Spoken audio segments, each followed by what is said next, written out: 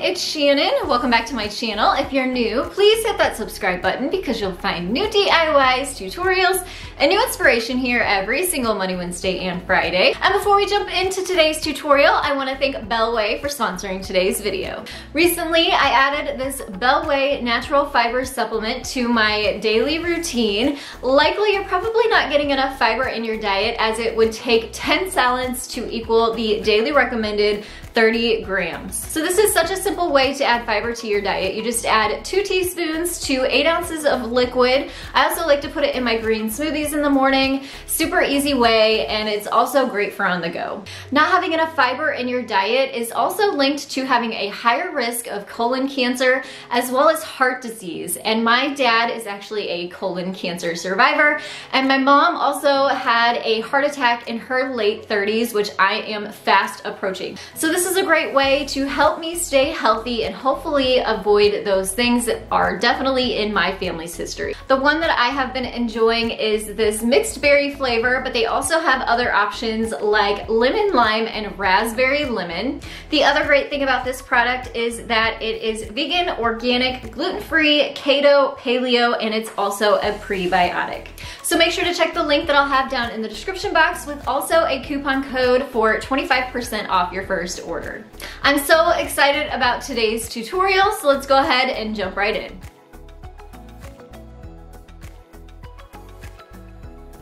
All right, so I have some scrap wood here. That's kind of the idea is to just use some scrap wood, but I will include sizes.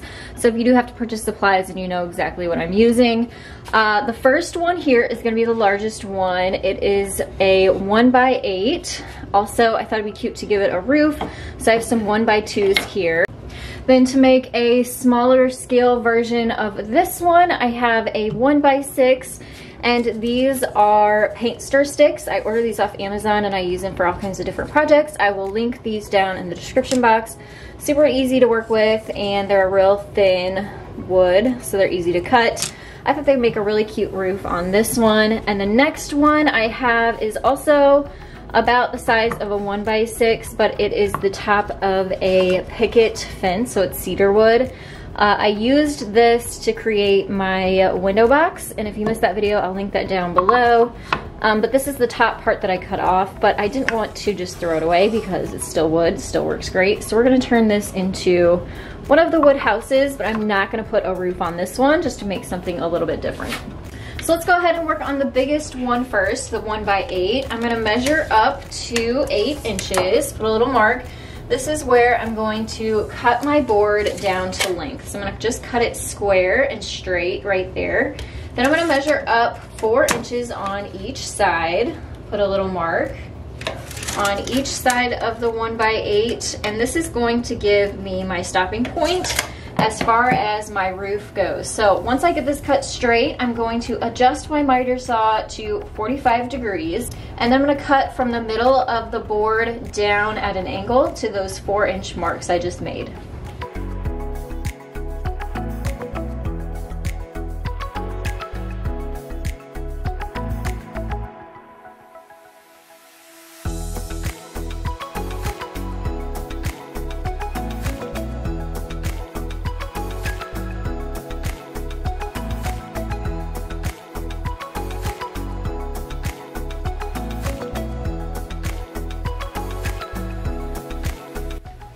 And now we're gonna work on the roof. So I'm gonna make these pretty simple.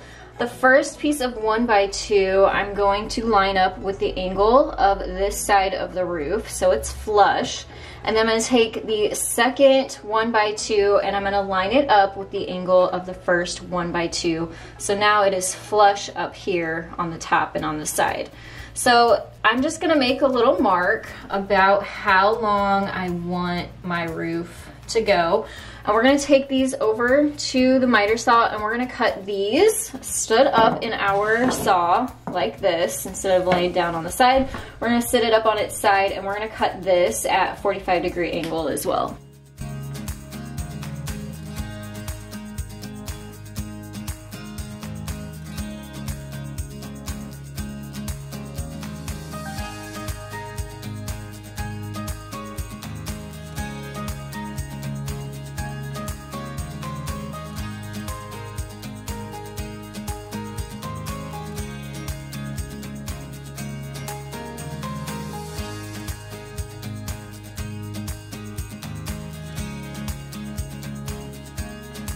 So here's my first little house. I thought I would give you a measurement for each one of these, so maybe it'll make it a little bit easier, especially if you're using a one by eight as a base from this smaller piece from end to the longest point is six inches, and this one from one side to the longest point is six and seven eighths inches. And now on to this one by six, even though it is skinnier, I want it to be taller than this house. So this is about 10 inches tall. I'm not gonna cut it down at all, but I am, I did find the center here and that's where I'm gonna cut my 45 degree angles on.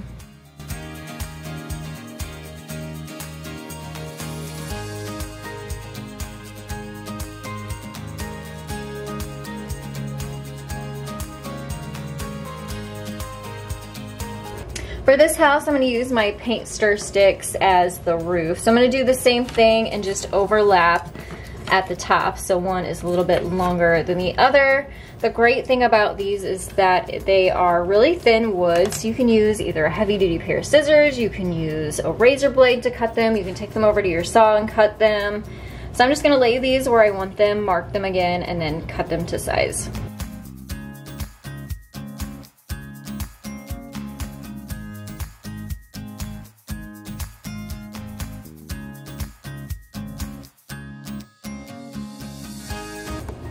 Now for this last one, I'm using that cedar picket that was left over. And again, I'm just going to cut my roof at a 45 degree angle, mark the middle just like I did the last one and cut down at my angles. This one, I'm not gonna give a roof, I'm just gonna make it really, really simple.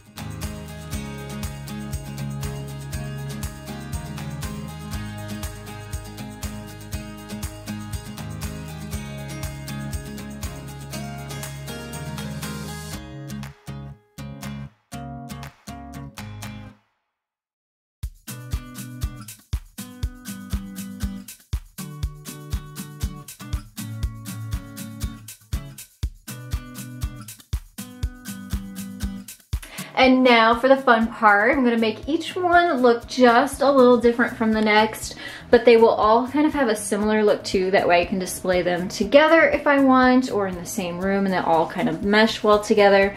So this first one has the bigger one by two roof. I have a decal I'm gonna put on this one.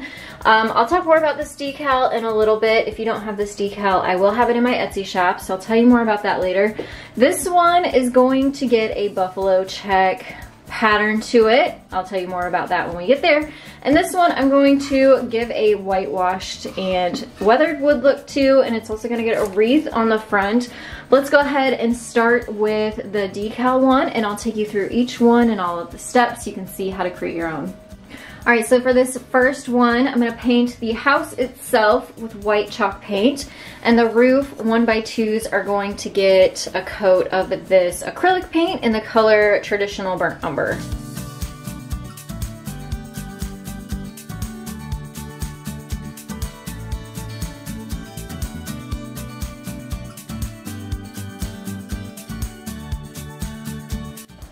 All right, so everything is nice and dry now. And before I add my roof onto the top, I wanna add my decal to the front.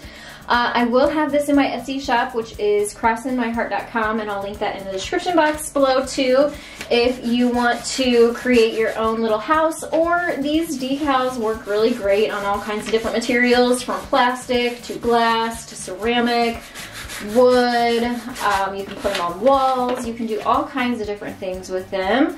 And if you order it from my Etsy shop, they will come ready to go just like this with this transfer tape that I'm peeling back already applied to the front. If you have a vinyl machine, I used Oracal number 651 matte black vinyl. That's what I used for all of my wood signs. Um, and I'm just going to remove the decal from the paper backing, I'm just using a squeegee. You take your time because it takes a little bit of work to get it to transfer cleanly. You don't want to go too fast or else you will ruin your design. And sometimes you'll have this too, where some of your paper backing might peel up with your vinyl. You don't want that because then your decal will not stick. But it comes off on the transfer sheet. You just line it up onto whatever you're going to apply it to.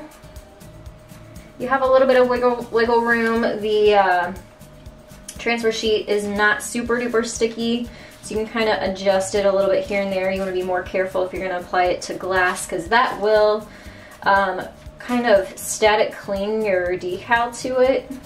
But with wood, it, it just, it has a little bit of wiggle room. So once you have it located on your piece where you want it, you come back in with a squeegee or something hard that you can press all of your decal onto the wood to transfer it.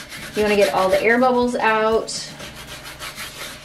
And then you just peel your transfer sheet slowly away.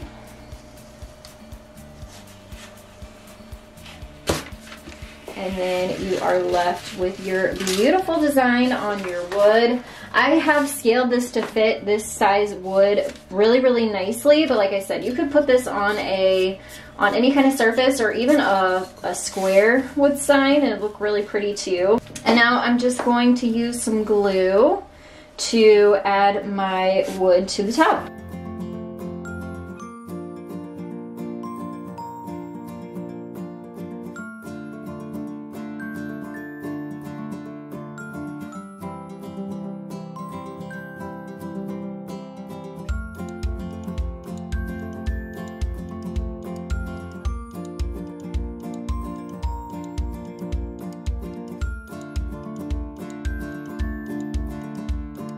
Right, so I have that one sitting back there drying and I'm gonna start working on this one. This is the Cedar Picket. Like I said, I wanted to give this one a weathered wood look.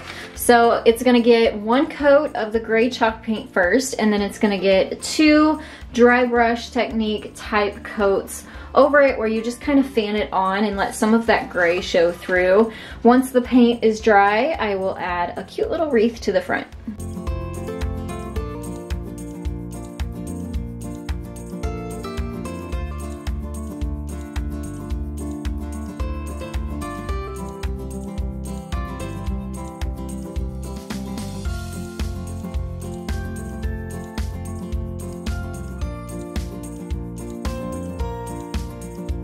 All right, so I am absolutely loving the way you can still see some of that wood grain come through the paint, even though it's painted. And that's why I went ahead and used this rusticy type wood for this finish. So it really have an authentic kind of look. So now I'm gonna use this greenery. I wanna say I got it from Walmart in their floral section. You might be able to find it in craft stores too. And it was even in Target dollar bins at one point during the Christmas time. So I have some wire cutters. I'm gonna cut it down to size, make a little mini wreath with it, and just use my hot glue to attach it to the front.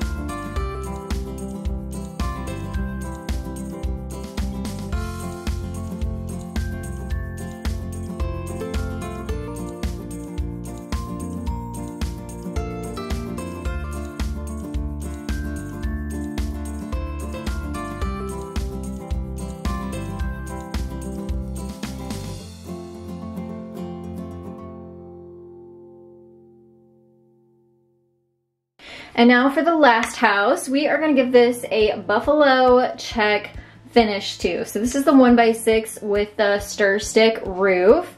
And I've already done a full in-depth tutorial on how to paint buffalo check, so I'm just gonna kind of hurry through this process. But if you're interested in hearing about more of the details of how to do this, check the iCards, check the description box below. You can go watch that video and that will explain everything. But basically I have three different color paints. I have white, gray, and black. The first layer is going to be the white.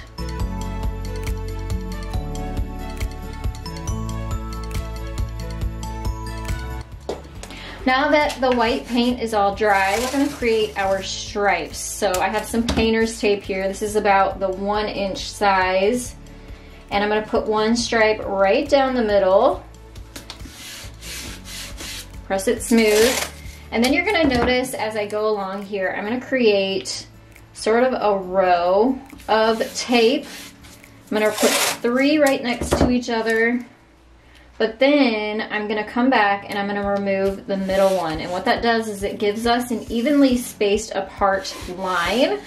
And we're looking for a checkerboard type pattern. So we need those even squares when we're all finished. So as you apply this, just make sure you put your placeholder in, butt up one next to it, and then remove the middle one. So that's basically all we have to do for this step. I'm gonna add my gray chalk paint to this, let it dry, and I'll come back and show you the next step.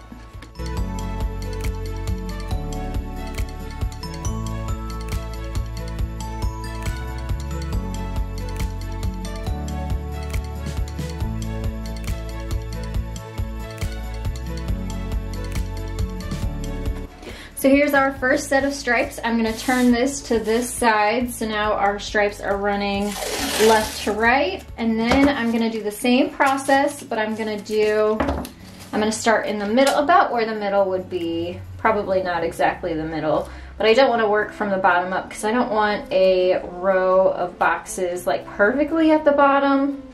I kinda wanna just work on this and make it sort of more random. So go ahead and use my, my placeholder method again and fill this whole thing with more painter's tape and paint another layer of gray.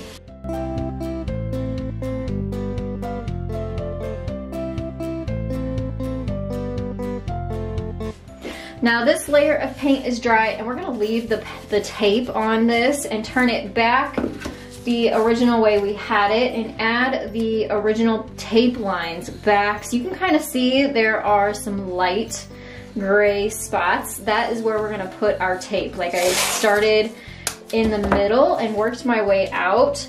That's exactly where we need to put our tape back over. So you wanna be careful to make sure you get it perfectly lined up and then work your way out.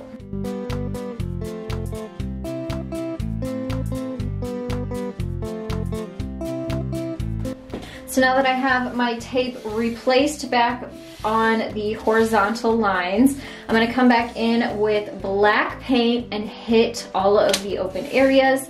I also want my roof to be black, so I'm gonna paint my stir sticks black, let it dry, then I'll come back in and we can take the tape off.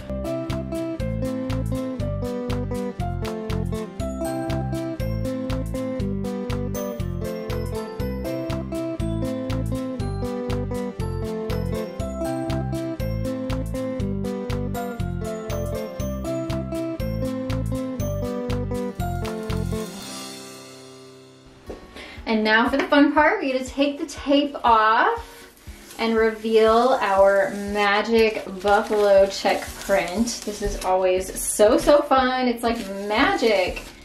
And it's it takes a little bit of time. Keep a hair dryer on hand. That makes the drying process go lots more quickly.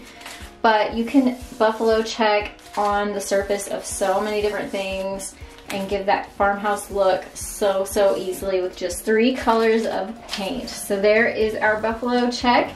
I have my paint stir sticks. I'm gonna use my tacky glue again to glue them onto the top and it'll be finished.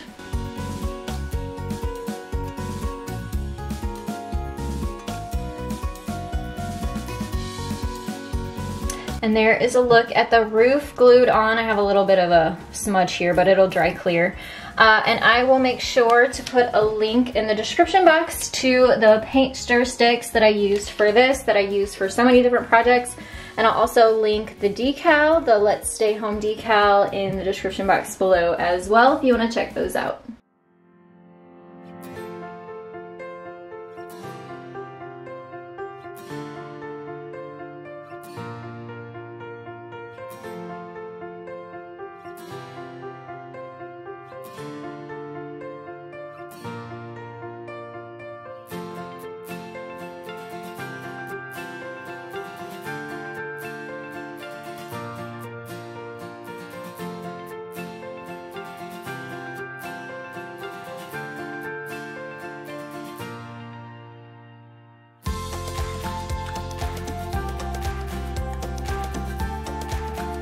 Thank you all so, so much for joining me for today's tutorial. I hope that it inspired you. Please take a second and give this video a thumbs up for me. That helps out my channel so, so much. If you haven't yet, click the subscribe button next to me. You'll find more DIY tutorials you wanna check out linked below that. And also, come find me on Facebook and on Instagram for even more inspiration. Thanks so much for watching and I'll see you next time. Bye everyone.